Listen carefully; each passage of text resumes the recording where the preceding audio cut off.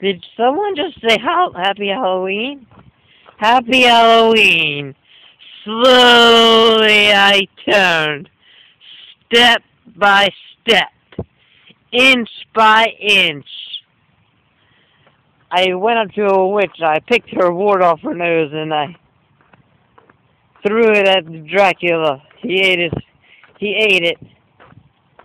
He got sick and threw up, and it looked